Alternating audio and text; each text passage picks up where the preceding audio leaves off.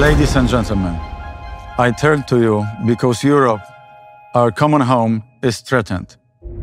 At this very moment, a hybrid war is taking place on the Polish Belarusian border, which Alexander Lukashenko, with the backroom support of Vladimir Putin, has declared against the entire European Union.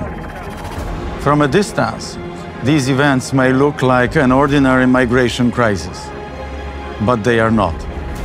This is a political crisis created for a special purpose. The objective is to destabilize the situation in Europe, first time since the end of the Cold War 30 years ago.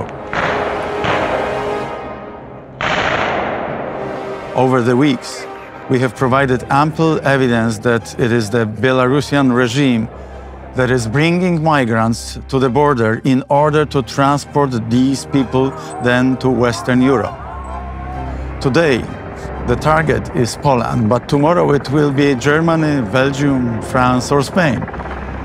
This is the concept of organization of migration routes. Lukashenko's and Putin's pressure is already being felt throughout Europe. Each of us is paying for the rising energy prices caused by the drastic reduction of gas supplies to European countries. This is just the beginning. The dictators will not stop.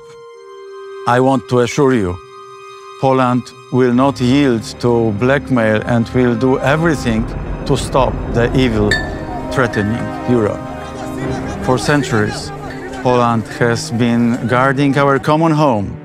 When invaders, tyrants, and later totalitarian dictatorship had to be confronted, we always stood in the front line. This was the Polish solidarity with other free world countries, long before the European Union and NATO were born. But at the same time, I appeal to all the people of the free world. Poland, Lithuania, and Latvia need your solidarity and support today. Right now, I want to thank everyone who has been supporting so far our actions on the border with Belarus. I thank the countries of the Union, European Commission, the United Kingdom, and the United States of America.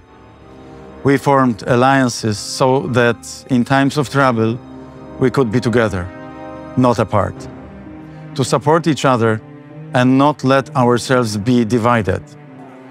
No matter where we live, we all know this one thing.